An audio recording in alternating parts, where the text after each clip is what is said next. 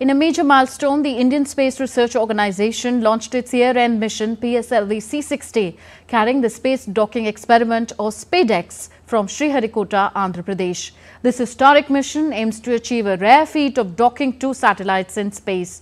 Just after 10 pm local time on Monday, PSLV C-60 rocket lifted from the first launch pad at Sriharikota. Designed as a cost-effective technology demonstrator, SPADEX will showcase rendezvous, docking and undocking of two small spacecraft in low Earth orbit, paving the way for advanced in-space operations.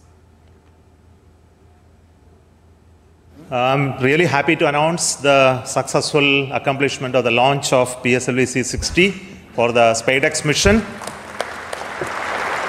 The rocket has placed the satellites in the right orbit, which is 475 kilometers circular orbit.